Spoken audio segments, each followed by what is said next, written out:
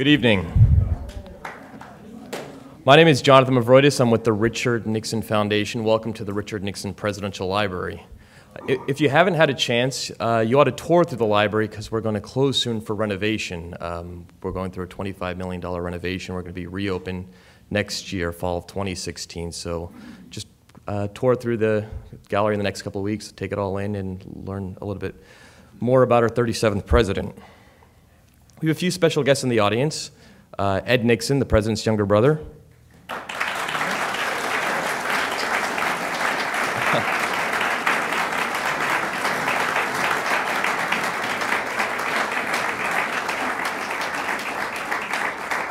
We also have Mike Ellzey, the director of the Nixon Presidential Library.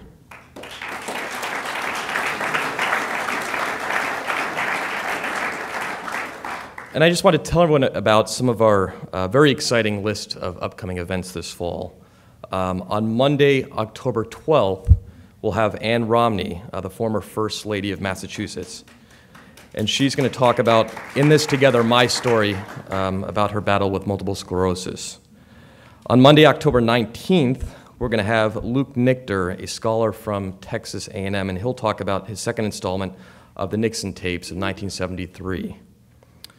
On Monday, October 26th, we're going to have Yochi Dreazen. He's the managing editor at Foreign Policy magazine, and he's going to talk about his book, The Invisible Front Love and Loss in an Endless War, and it's about the epidemic and growing awareness of PTSD and military suicides. And then on Tuesday, October 27th, we're going to have Fred Barnes and Mort Kondracke. Um, you know them in Fox News, formerly on Fox News, the Beltway Boys, and they're going to talk about their new biography about Jack, Jack Kemp. It's called The Bleeding Heart Conservative Who Changed America. And on Thursday, October 29th, we're going to have Jack Pitney, a Claremont uh, McKenna professor, and he's going to talk about the politics uh, of autism, his, his new book about that. And how many people are members here? That's it. You can, you can receive significant discounts um, if you become a member. We put um, a membership brochure on your seat, and it really helps us promote the timeless policies of President Nixon. Um, it keeps the library a vibrant educational center, and it keeps uh, the great uh, speaker series we have with incredible leaders and intellectuals like you'll hear about tonight. And our, my colleague Ian Delzer will be in the lobby to um, accept um, those brochures if you choose to become a member. Thank you. Now, on to our speaker. You know our speaker because he's brilliant. Educated at Oxford, he's also had posts at Oxford, Cambridge, and the London School of Economics. He's now the Lawrence A. Tisch Professor of History at Harvard University and the William Ziegler Professor of Business Administration at the Harvard Business School. He's the author of, se of several very serious bestsellers, including the one he'll talk about tonight it's called Kissinger, 1923 to 1968, The Idealist. It's about the early life of, of Henry Kissinger and his pre-White House years as uh, before he becomes President Nixon's national security advisor and later Secretary of State. It's the first of a two volume comprehensive work in which he received unprecedented access to Dr. Kissinger's papers. In a New York Times review, it said that the second volume of Kissinger is, if, if the second volume of Kissinger is anywhere as comprehensive, well written, riveting as the first, this will be his masterpiece. Ladies and gentlemen, Niall Ferguson.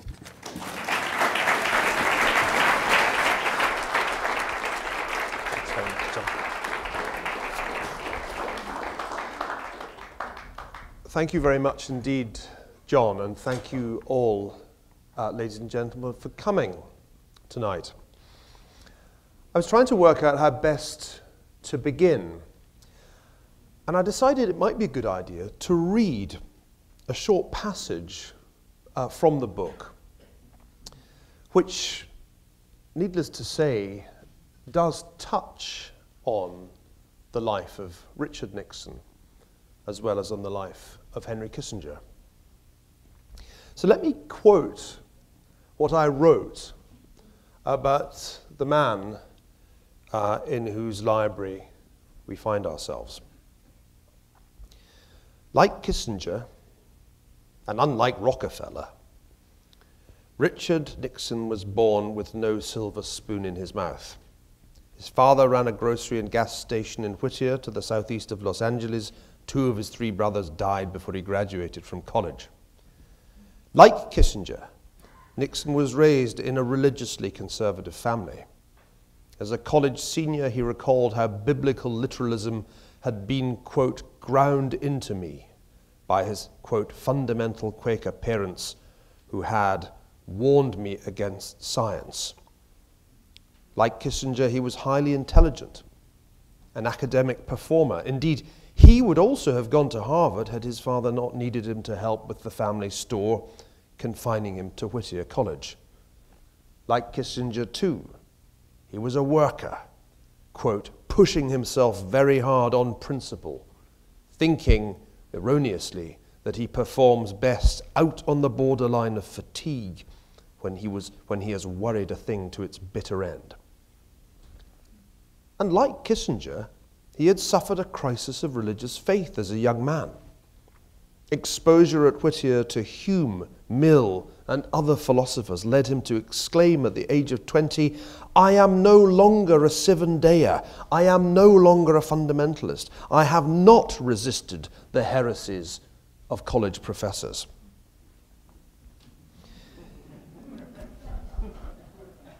Even more striking is the fact that as a young man, Nixon also considered himself an idealist, even quoting Kant as offering the best way of reconciling philosophical knowledge with the existence of God. He was filled with admiration for Woodrow Wilson, despite the fact that, like most Americans in the early 1930s, he regarded the US entry into World War I as a ghastly mistake and had only started, that had only started the wheels of industry rolling toward another great war. In his soul searching senior year essay, What Can I Believe? Nixon urged the application of Christ's teaching in the international field. Quote, Repeal the obnoxious features of the Versailles Treaty. Disarm all the nations of the world as fast as is humanly possible. Re establish the League of Nations for all nations. And add a world court for economic disputes to our present court. This is Richard Nixon. Put the machinery in motion for a huge program of educational, scientific propaganda whose purpose it will be to draw the peoples of the earth closer together Work for the eventual abolishment of tariffs and immigration restrictions. I believe that all the problems of the world can be solved by courts of investigation which would consider the individual conflicts and render advisory decisions. I envision a world in which there are no walls between nations, no racial hatreds, no armaments I see a world in which each nation produces the best it can in the field of economics, art, music, etc. I see a world where men and women of all nationalities travel together, eat together, even live together. I see a world which cooperates, which strives upward to the final, highest values of life. One of the joys of being a historian is that you're constantly surprised. No one is quite as you expect them to be. And each book I write is a new voyage of discovery.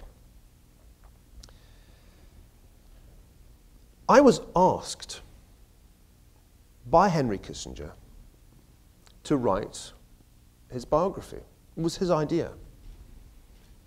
And I said no. I thought it would be intolerably difficult. I thought of a great mountain of documents and telephone transcripts. And then I thought of a great horde of hostile critics whose minds had already been made up about him. It seemed a supremely thankless task. Dr. Kissinger sent me one of those letters that he sends people. Dear Niall, he said, I'm very sorry to hear about your decision. Just when I had made up my mind that you were the perfect man for the job, And just when I had found 150 boxes of papers that I thought I had lost,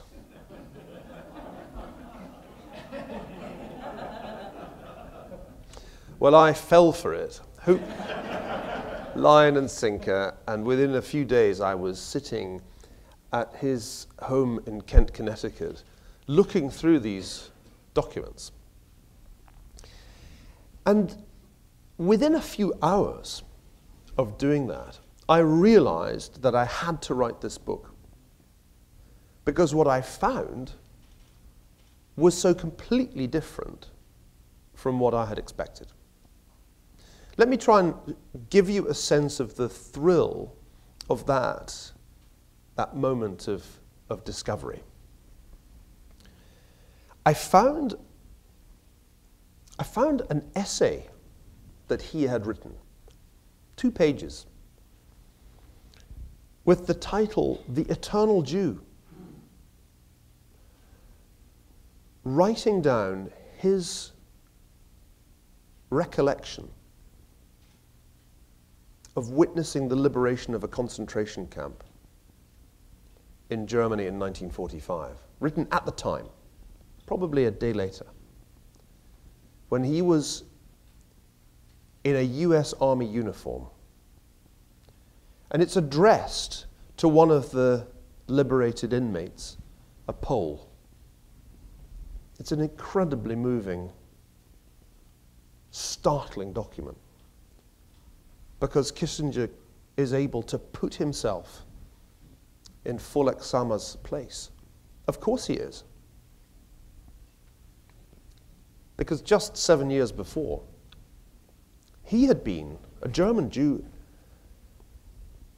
and had only just escaped from Nazi Germany with his parents and his younger brother in the nick of time.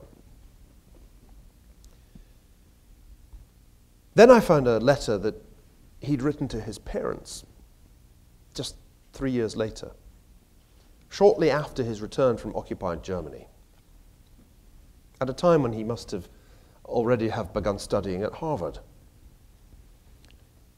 It's a letter that reveals a breach between him and his parents, a breach uh, over religion,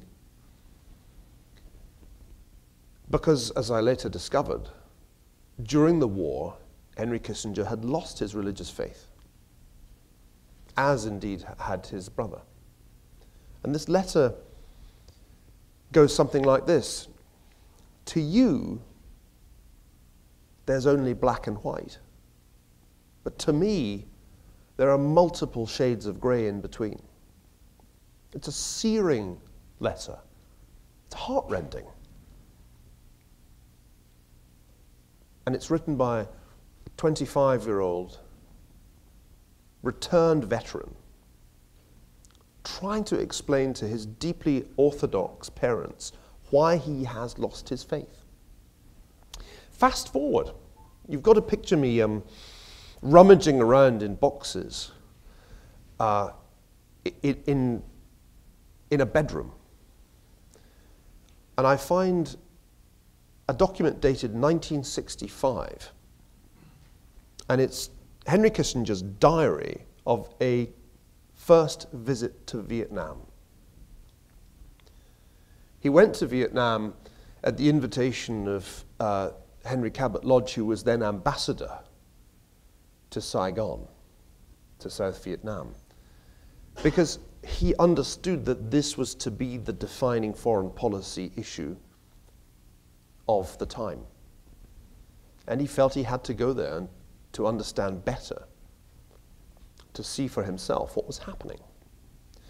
It is a devastating diary that he kept really for his own personal use.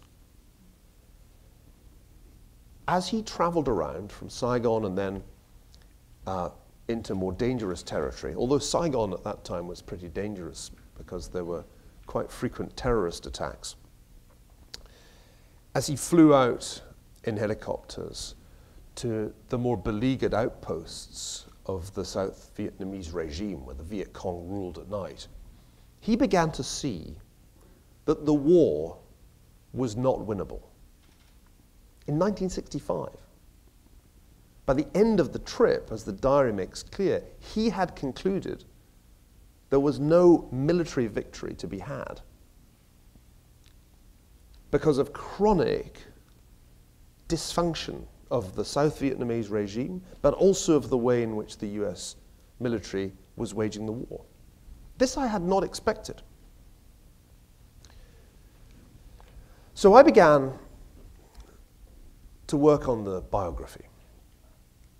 And I spent a long time gathering material, accumulating documents, not only from his private papers, but from about 49 other archives, in the belief that one could only really understand this man if one saw him from, from multiple vantage points, including foreign vantage points, the other side's view of him.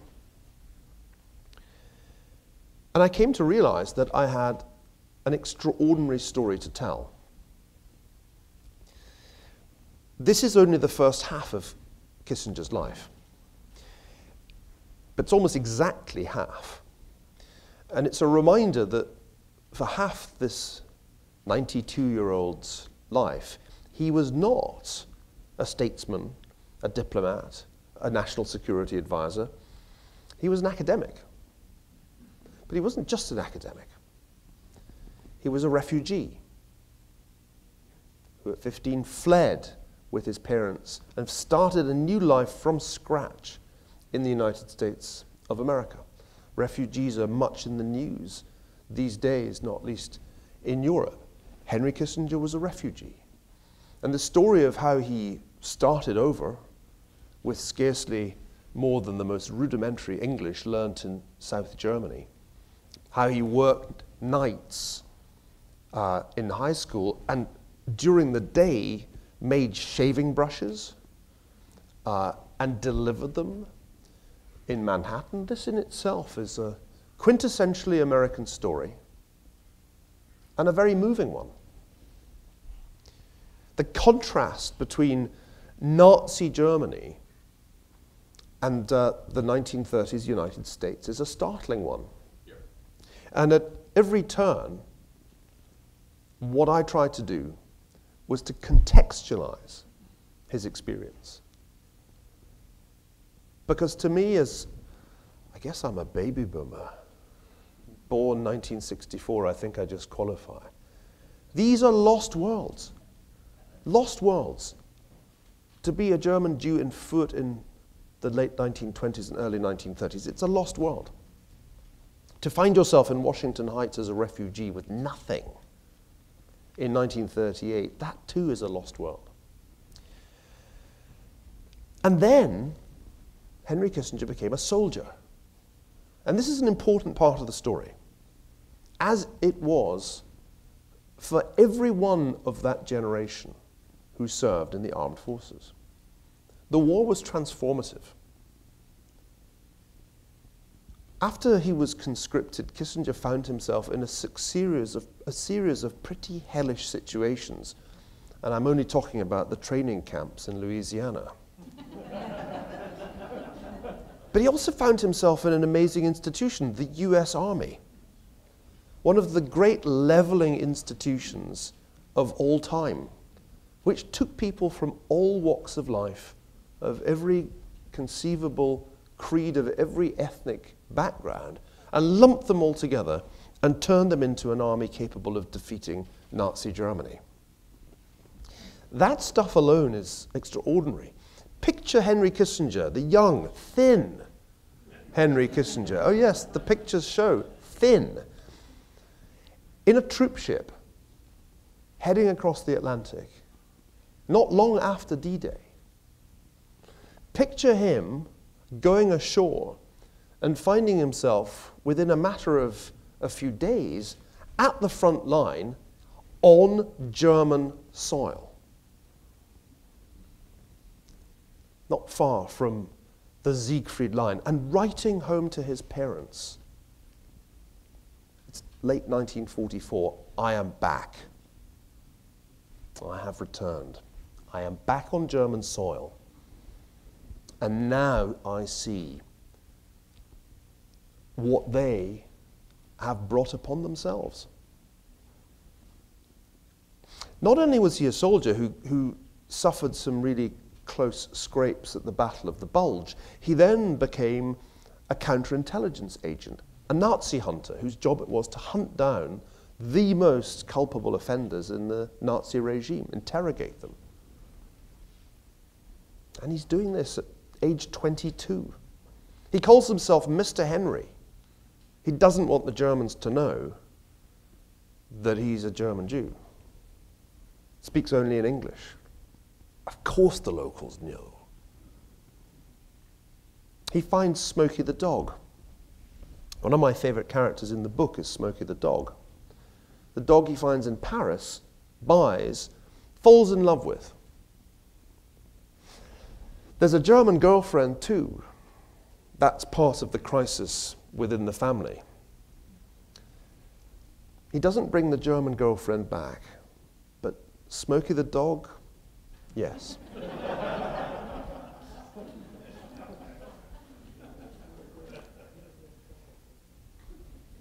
In everybody's life, there's at least one mentor. There were several mentors in Henry Kissinger's life, and perhaps the most extraordinary was Fritz Kraemer, another German exile from the Third Reich, who, in the US Army, they were both privates, identified Kissinger's intellectual firepower, his talent, and told him in long walks that they would take behind the lines or in training camps, you must go to one of the great universities.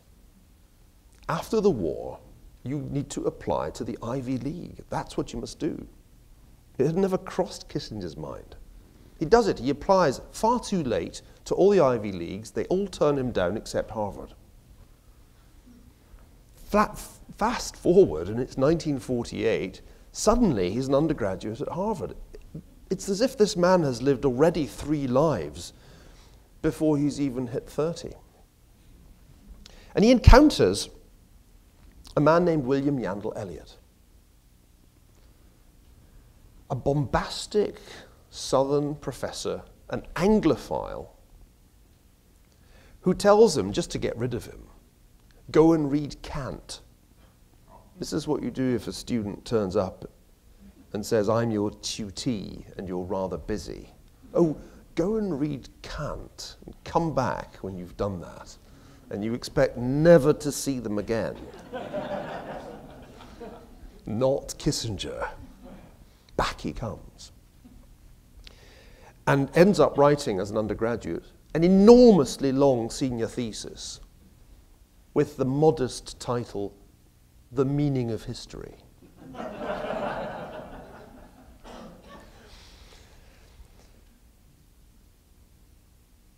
I think the, the academic career of Henry Kissinger uh, is fascinating, not because of the academic politics. You know his famous line about academic politics is so poisonous because the stakes are so low. it's more the intellectual breakthroughs he achieved. I'm going to tell you four things that I learnt from reading Henry Kissinger's early work not so much the meaning of history, which is pretty unreadable, uh, but the first book, the dissertation originally, that became A World Restored, and all the subsequent books and articles and the unpublished papers, and I read my way through the lot. Here are the four things that I take away from it. History, Kissinger says, is to nations what character is to people to individuals. If you don't know history, you don't really know what's motivating the other side. Imagine trying to understand, just to give you a contemporary example, Vladimir Putin without knowing any Russian history, or Xi Jinping without knowing any Chinese history. Kissinger's unusual in his generation because he really believes that history matters. His contemporaries at Harvard want to do rocket science. They want to do economics, social science, political science. It's just got to be science.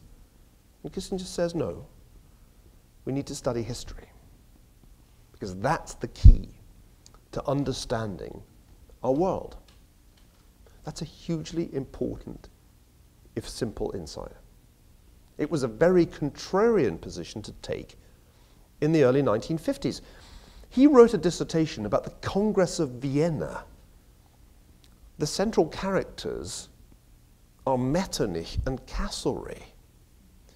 When Elliott, his professorial mentor, tried to get him a job at MIT, the MIT faculty just laughed.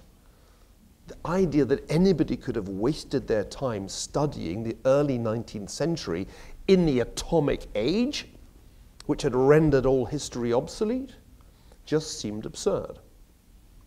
Second insight what Kissinger calls the problem of conjecture. The problem of conjecture is a hugely important idea, no matter what kind of a decision maker you are, whether it's a presidential decision maker or something much humbler. What is the problem? The problem of conjecture is this when you make a difficult decision, that involves some upfront cost to avoid a worse outcome further on in the future. The payoffs are lopsided. Because if you're right and you've done the right thing and you avert catastrophe, nobody thanks you. Nobody is grateful to Richard Nixon for the fact that World War III did not happen in the 1970s. The problem of conjecture is that if you do the difficult thing that averts catastrophe, the payoff is minimal. It's much easier to do nothing. These days we say kick the can down the road and just hope that things will be okay. You might get lucky. Some presidents are lucky. But then again, as Kissinger says, you might be like those people who kicked the can down the road in the 1930s, hoping that Hitler was just a normal German nationalist and not a genocidal maniac. They found out that he was a genocidal maniac, and 50 million people lost their lives. So the problem of conjecture is a really important Kissinger idea. And it leads to the third idea I want to tell you about that I learned from him. And that is that most choices in the realm of foreign policy are between evils. You don't get nice, easy, morally comfortable, touchy feely options that often. Mostly you're choosing between bad, worse, and worst. And Kissinger says in Nuclear Weapons and Foreign Policy, it is a moral act to choose the lesser of two evils. But again, don't expect any thanks. The final idea, which really came from reading a book about Bismarck that he didn't publish, is that if you are a completely calculating realist, if you are somebody who says the national interest is all that matters, I will do whatever it takes to promote that national interest, no matter how callous and ruthless, duplicitous, and two faced I have to be. Kissinger argues, with respect to Bismarck, this is not, in fact, a sustainable foreign policy. It won't have legitimacy. You won't carry people with you. And ultimately, his critique of Bismarck is that Bismarck created an unsustainable system. Now, this is pretty surprising when you think about it because it sounds like Henry Kissinger is arguing against what Henry Kissinger is supposed to believe. To read most books about him, you would think he was the arch realist, the American Machiavelli, the American Bismarck devious, duplicitous, two faced, unprincipled, all the things that have been written by writers like Christopher Hitchens and Seymour Hersh. And yet, the Kissinger that I reveal in this book repudiates realism. and is, in fact, far more an idealist. The subtitle, The Idealist, is not just designed to infuriate readers of the New York Times, though it certainly does have that effect. It's also designed to make a really important point about him, which I think, in fact, applies to Richard Nixon too. We cannot understand these men as cynical, unscrupulous, Machiavellian figures. Rather, we must recognize that they were idealists in at least three senses of the word. They were idealists in the sense of philosophy. They read Kant and took to heart Kant's fundamental insight about freedom as something that we experience when we exercise free choice. But they were idealists in other ways too. They regarded realism as having failed in the 1930s. There's a great line in the book that I quote in which Kissinger says, The appeasers thought that they were hard headed realists. These men had learnt through their own experience in the 1930s and in the 1940s the terrible costs of foreign policy failure. And they were idealists in a third respect. Henry Kissinger deeply rejected the notion that materialism makes the world go round, that it's all about economics, that the Cold War was just a contest between two economic systems, one communist, one capitalist, and the better one would win. Many people today think that the Cold War was about that. In fact, I would say the conventional wisdom in the United States today is that the Cold War was an economic contest and the United States won it economically. Kissinger was deeply hostile to this view from the outset. He argued, even in his senior thesis, that we should reject totalitarianism even if it's economically superior. That we should base our claims for freedom not on economic efficiency, but on something higher than that on the superiority of freedom itself as an end in itself. This resonated with me the more I read. It seemed to me that in this respect, in understanding that the Cold War was a contest of ideas as much as it was a contest of economics, or for that matter, armaments, Kissinger got something profoundly important right. And that as I come to write the second volume and take the story through the 1970s and the 1980s, I'm going to be telling a story not of a Cold War decided by economics, but rather of a Cold War decided by ideas, ideals even. I've nearly talked quite long enough for one evening, and I'm keen to get to your questions. Thank you very much, Niall. Please give Niall a round of applause. Niall's agreed to answer your questions. Um, I'd like to start by asking, uh, when did President Nixon and Dr. Kissinger first meet, and how did they, how did they get it, become acquaintance with each other? It's funny how nearly they met. There were a number of, of near misses. Kissinger would write to Nixon inviting him to come to Harvard uh, to speak at the international seminar, and Nixon would say no.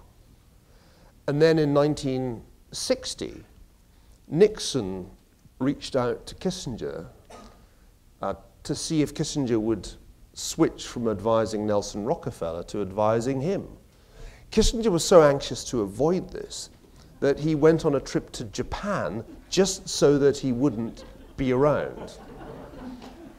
So, part of the fascination of this story is that it is the most unlikely combination. They were the odd couple. And for most of this book, they were at odds. Kissinger explicitly criticized Nixon, said he was unfit to be president, sided with Nelson Rockefeller in three successive electoral contests trying to get Rockefeller the Republican nomination. So they didn't meet. And Kissinger based his view of Nixon, I think, and this is what I argue in the book, on the prejudices of his fellow Harvard professors or on the prejudices of the New York Upper East Side establishment that he encountered at the Council on Foreign Relations. And he essentially swallowed that elite view of Nixon that had been so firmly established uh, in the 1950s. When they eventually did meet in 1968, it was potentially a very awkward social moment. But unusually, in an awkward social moment, it was Richard Nixon who broke the ice. Because although he had not met Kissinger, he had read him. And he had read quite a lot of Kissinger, because Nixon, as you all know, was a voracious reader. So they ended up talking about Kissinger's uh, first big bestseller, Nuclear Weapons and Foreign Policy. If you want to get on the right side of a Harvard professor, have read just one of his books and say how much you found it interesting. This was the beginning of an extraordinarily important uh, relationship. And I think it had at its heart an intellectual affinity, but also perhaps some other affinities of the sort that I began my talk with. They had much in common, although there were some profound differences too. And that meant that when they finally did meet, they were pleasantly surprised to find that, as we would say today, they were on the same wavelength. We have a question in the third row. Did Kissinger participate in either the 1960 or the 1964 presidential campaigns? Yes. He did. Uh, as an advisor uh, to Nelson Rockefeller, uh, but not only to Nelson Rockefeller. In 1960, as I mentioned, once it was clear that Rockefeller couldn't get the nomination, uh, and once it was clear that, that Nixon was going to, Kissinger actually ended up working for John F. Kennedy. And indeed, in 1960, uh, Kennedy successfully brought him into his administration. So part of the story of, uh, Volume 1 is the pretty unsuccessful first attempt that Kissinger had at being a White House advisor. It all went horribly wrong, because he really wasn't quite enough of a swinger for Camelot. Actually, what, what, what happened was that McGeorge Bundy completely stitched him up and made sure that he almost never saw Kennedy. And so Kissinger learned the hard way that presidential access is not just the most important thing, it's the only thing. In 1964, uh, in many ways, it was even more unpleasant because he was still a Rockefeller man and he went to the, the, the convention in San Francisco uh, that nominated Barry Goldwater. And he was pretty scared by the Goldwaterites. Uh, they knew who he was, they did not like him, and he did not at all like the look of them. And this was a moment of revelation for him. Remember, as, as a refugee to the United States, who had then served in World War II and gone to Harvard, Henry Kissinger had not seen a whole lot of the United States of America. He'd only been to a handful of states by 1964. And so this was a kind of uh, shock encounter with an America, conservative America, that he really hadn't seen much of before. So he was involved in, in both those elections uh, and on the losing side, as he was again in 1968. Now, people often say, and indeed represent Kissinger in this way, that he was an incredibly calculating, power hungry individual who was trying his hardest to get up the greasy pole of politics. If that were true, would he really have stuck with Nelson Rockefeller through three unsuccessful bids for the nomination, it strikes me that that was anything but a, a coolly calculating strategy. And my bottom line is that he, he was incredibly lucky when Richard Nixon offered him the job of National Security Advisor. He'd done almost nothing right to get that job. And he was so surprised when he got the offer that he didn't realize he'd been offered the job. It had to be done all over again. We have a question in the first row. Uh, once, it, once Kissinger came to the conclusion that the Vietnam War could not be won, what did he do with that belief? Did he approach anybody? How did he handle his decision? That's a great question, and I, I answer it at length in the book. Well, he wrote um, a pretty bleak report analyzing what was going wrong, uh, and particularly analyzing the way every different US agency was doing a different thing, and there was almost no coordination between the different agencies. And meanwhile, the South Vietnamese regime was almost unsustainable in itself. So he wrote this kind of bleak report. Then he went back again in 66. He made three trips in all. And went from asking the question, how can we salvage this, to asking the question, how can we get out of this? His view, which he thought through, I think, pretty carefully, was that you could not go directly to the North Vietnamese. You had to go uh, via Paris, because after all, it, had once been a French colony.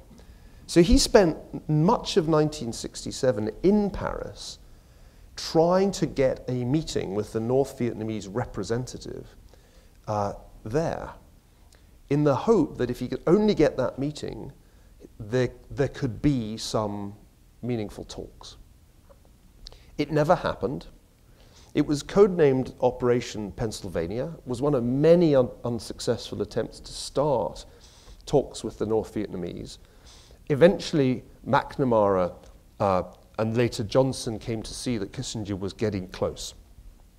And he certainly was doing his level best. The problem was that the North Vietnamese were in no way sincere. They were, in fact, engaging in an, an elaborate feint ahead of the Tet Offensive.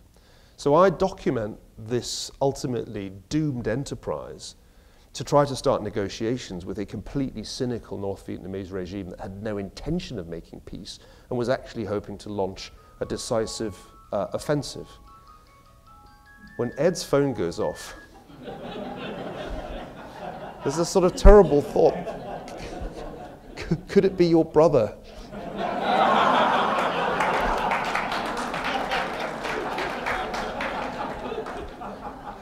Having spent, I have spent most of the afternoon here going around the, the exhibit with a wonderful guide, one of the docents here, Jerry Powell. And and really, he brought your brother to life for me to, to an extent that was quite startling. Uh, so when your phone rang there, that was my immediate thought. now I'm in trouble.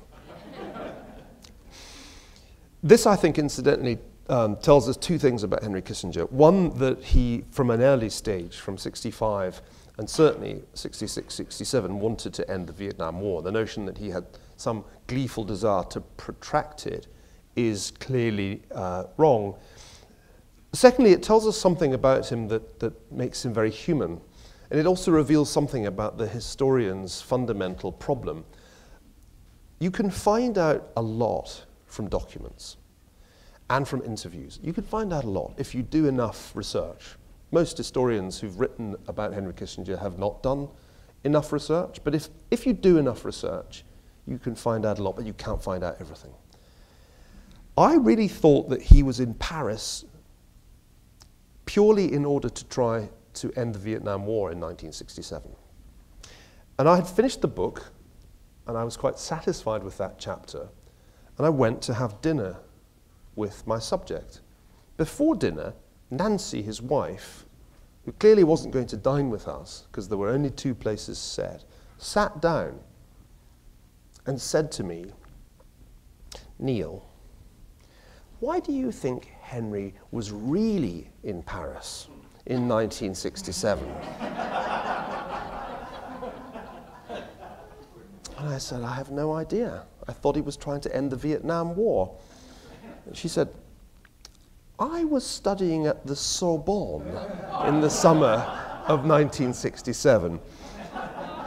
And it turned out that the reason he kept agreeing to these ultimately doomed diplomatic endeavors was that it gave him a perfect excuse to be in the same city as the woman he'd fallen in love with at that San Francisco Republican Convention in 1964. A relationship that they managed to keep completely quiet right down into the uh, 1970s. So, as a historian, you have to know your limitations. You're trying to find the truth.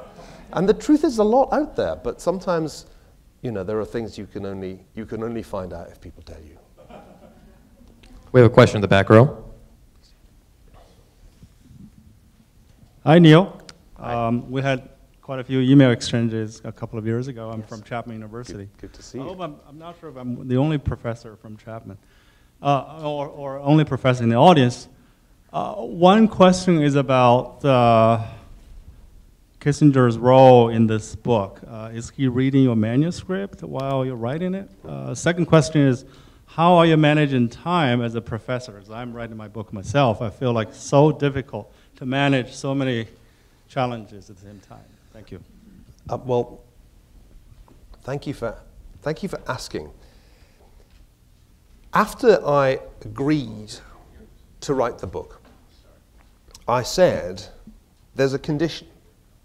And the condition is that although you're going to give me access to your private papers, you're not going to have any say in what I write. No editorial control.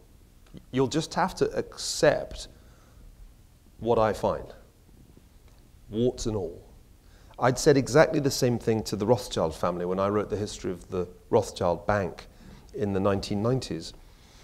And my position was in any case, although your private papers will be very important to this book, I'm going to look at a whole bunch of other stuff too. And I'm going to talk to your enemies as well as to your friends. So be aware. Um, the only way I'm prepared to do this is on those terms. And we agreed. In fact, he said, I don't want to read it. I better not. Um, I, I want you to find, get as close to the scholarly truth as you can. I have confidence in you as a historian, and that is better from my vantage point than, than anything else could be. Once I got to the point of writing, I'd interviewed him a good deal. But it occurred to me that it wouldn't be a bad idea if he read the draft chapters to make sure, as in the case of Paris 1967, there weren't things that he knew that I didn't know because they weren't documented. So he did read uh, each chapter in draft. And that became a kind of second round of interviews, much more focused than the first round because, you know, when an old man is confronted by things he wrote when he was in his 20s or 30s, it's pretty new. I mean, I find that about things I wrote two years ago, but imagine that you're reading something you wrote 50 years ago. So we, we found that those sessions were really productive, and I learned a lot of stuff that I would never have found out had I not got him to read the, to read the drafts. And, and it's a sign that this ultimately worked that after the finished book landed on his desk, he went through at least a month of being absolutely furious with me and, and really, really rejecting the book because ultimately I'd revealed too much, more than he was comfortable with. Uh, I think that, that that phase has passed, but it was a pretty tricky phase when he finally looked at the, the end product. How did it get written? I have spent a long time on this book, roughly 10 years from beginning to end, but most of the really hard work was done in the last two and a half. The research gathering, the, the acquisition of material is something that can go on in the background. You just need one really good researcher to do that while you're teaching. So I had a wonderful man, J- Jason Rockett, who came here, who came everywhere, who was running around the United States and then the world, harassing innocent archivists and librarians, demanding that they hand over uh, documents relating to Henry Kissinger. That went on in the background until we had enough. One last tip grow a beard.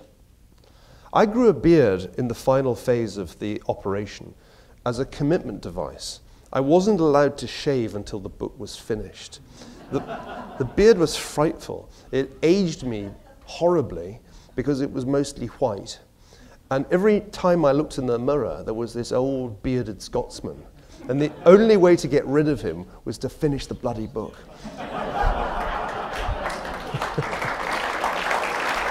Thank you very much, Niall. Thanks. Niall in the lobby to sign your book. Uh, please come back to Ann Romney next week. Thank you very much. Thank you all very much.